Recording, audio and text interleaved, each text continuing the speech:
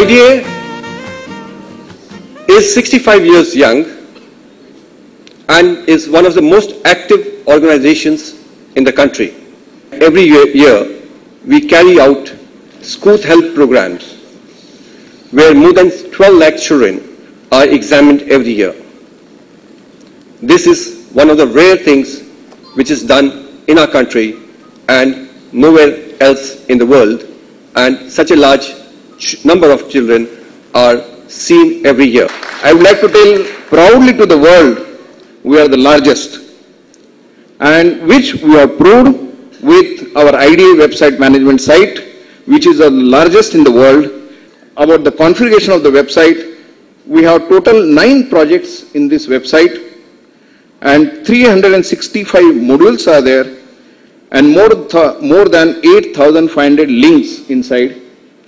Total text pages 7,500 we have.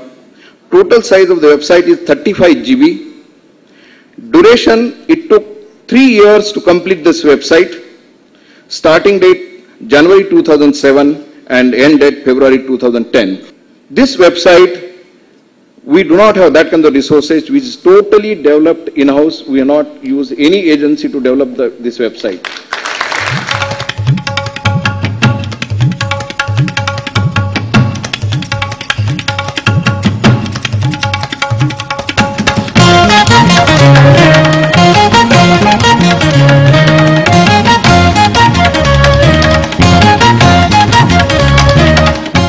Congratulations to Dr.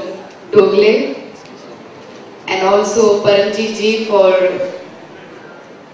getting along this commendable task. Very happy to be here again today because of the Child Task Force.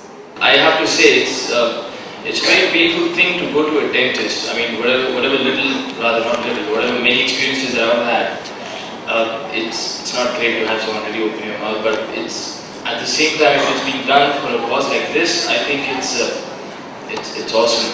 I just want to say a big thank you for having us here.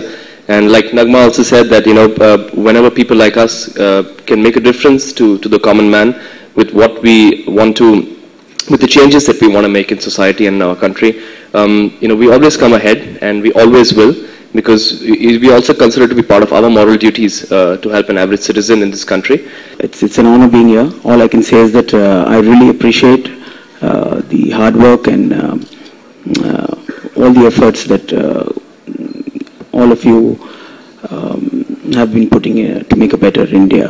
That's it. That's that's all. Jai Mata Di, Jai Hindustan.